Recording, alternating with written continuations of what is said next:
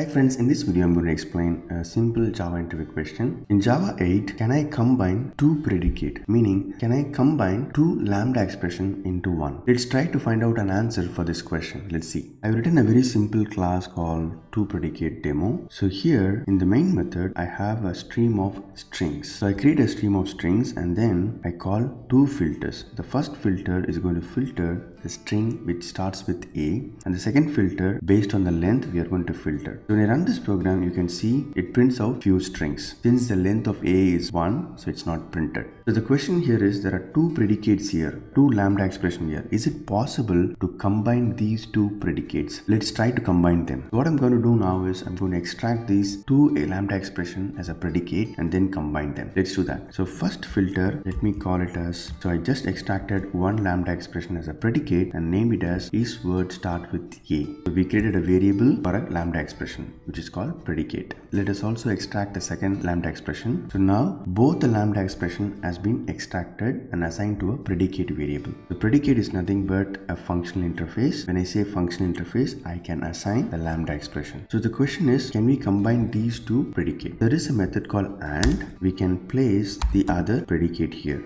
then delete this one. So you can see here, I'm able to combine both the predicates together inside a single filter using AND method. Now it looks more simple. Please try out this example. All the best for your career. Please subscribe to InterviewDOT channel. See you in the next video. Thank you.